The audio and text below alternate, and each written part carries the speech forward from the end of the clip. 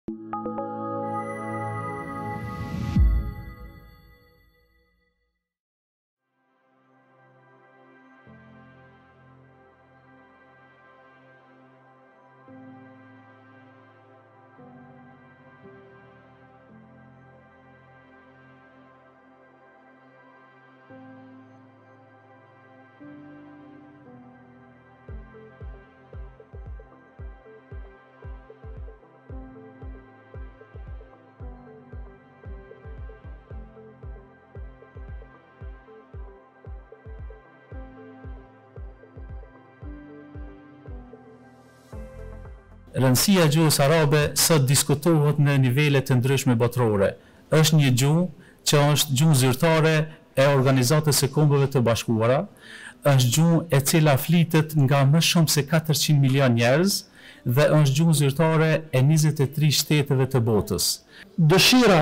dhe përpjekja për të kuptuar arabishten është pjesë e fesë, është mjet i dijes, çelës i kuptimit të thellë të fesë dhe shkak për rregullimin e kësaj bote dhe botës tjetër. Është fakt i mirënjohur se arabishtja përbën bazën e domosdoshme dhe çelësin kryesor, fillimisht për kuptimin e dy burimeve kryesore të fesë islame, Kuranin dhe Sunetin, që janë të pandryshuar në gjuhën arabe,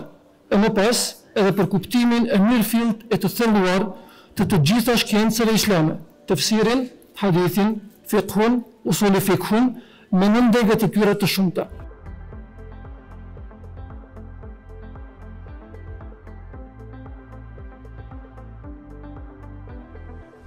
Më se treqind milionë banorë në mbarë botën e kanë arabishten si gjuhë amtare, dhe po të shtohen edhe ata që e njohin si gjuhë të dytë apo të tretë, ky numër arrin në pesëqind milionë.